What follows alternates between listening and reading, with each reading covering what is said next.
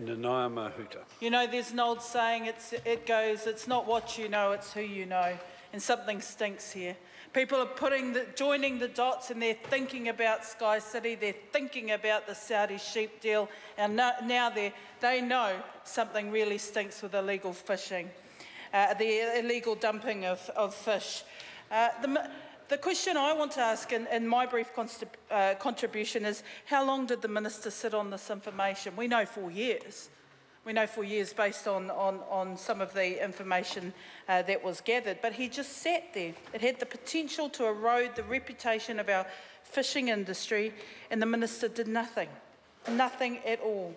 An issue that had the potential to erode the confidence in our sustainable QMS system, and he did nothing. Why was that? Because there was information out in the public domain. The Ministry of Fisheries had raised it with MPI. MPI and the Minister didn't act. Why did they wait till 2016 for, for Solicitor General, ex-Solicitor General Heron, to produce a report to say that uh, the decision in 2012 not to prosecute uh, those ships that dumped fish was flawed? Why did he wait so long? And that's the question everybody will be asking. You can rationalise everything after the event as much as you want, but people right now are looking at this issue and saying something stinks. Why didn't he act when he had the information and do what he should have done when he could have? And it's as simple as that. Because uh, if we don't have the accurate reporting of fishing and what's taken, and, and if there isn't reporting of what gets dumped, then how can you have any credibility in your QMS system? New Zealand was seen to be a forerunner of moving into the sustainable fisheries space when it introduced the QMS. But it did rely on good reporting and accurate information. And here we have compelling evidence to do more.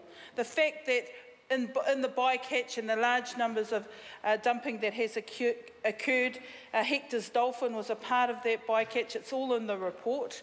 Uh, still, the government just sat and did nothing. And we're wanting to promote New Zealand as a country that wants to protect uh, the marine ecosystem. Yet nothing had been done when it could have been.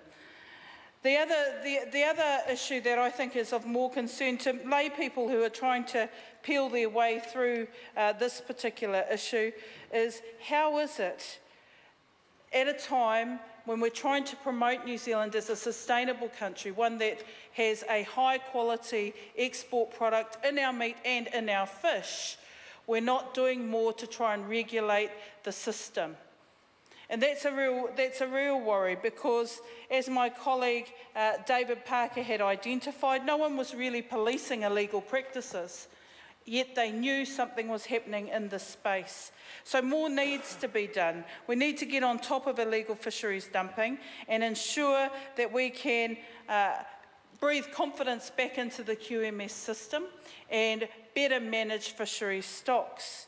But I think this will be a matter of trying to do things on the backwash, trying to make good of a very uh, bad situation. The Minister had the opportunity to act. He had information, compelling evidence that was uh, on, on court, captured by videotape, yet he chose to sit and do nothing. That's just just not good enough.